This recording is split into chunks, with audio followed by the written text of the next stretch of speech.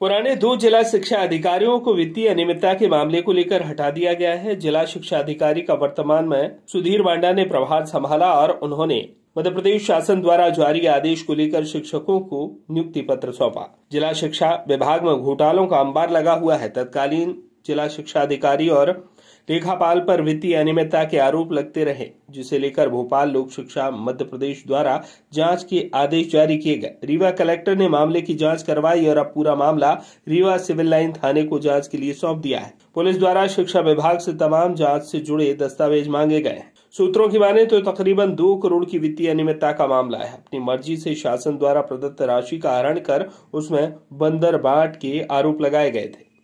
ये उपस्थिति दिए हैं लोक शिक्षण संचालनालय भोपाल से।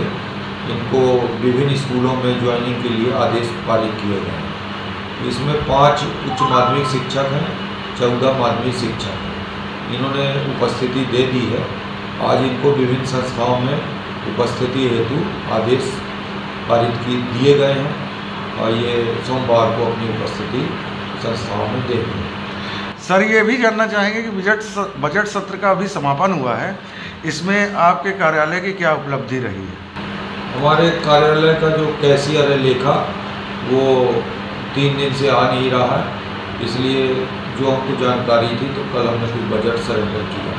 तो सर ये लेखा नहीं आ रहे थे इससे जो कार्य प्रभावित हुआ तो लेखापाल के लिए आपने क्या लेखा का हमने प्रभार चेंज कर दिया है और उसको ऐसे जारी किया। तो कलेक्टर महोदय से इस विषय में आपने संज्ञानता में बात लाई है क्या? हमने सीओ महोदय के संज्ञान में ये बात लाई।